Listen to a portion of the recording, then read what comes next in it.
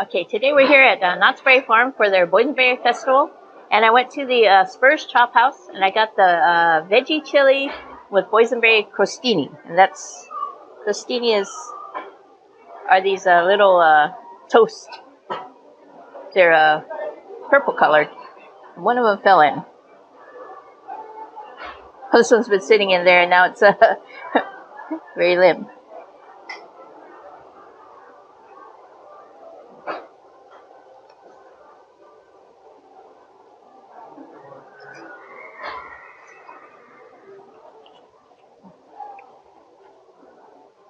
It was very hot, not not uh, spicy. But they keep keep this one really uh, warmed up. so there's lots of different beans in here. Uh, there's corn. What is this? Maybe carrots. Uh, probably tomatoes. Maybe a few other things.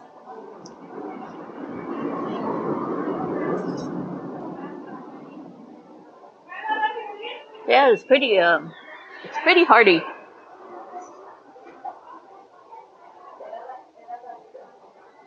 And the beans provide the protein for you in this dish. So yeah, this one's. Uh, oh, by the way, this one is on the tasting card.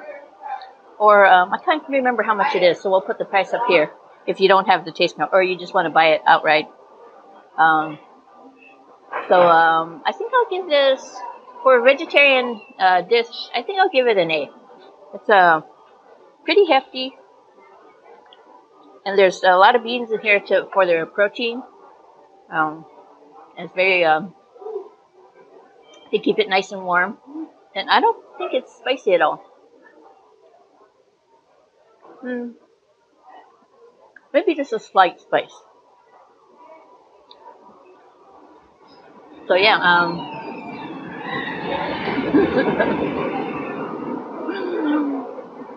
Anyways, please remember to like, comment, subscribe, and click on the notification bell and click on all to get notified every time I upload a new video.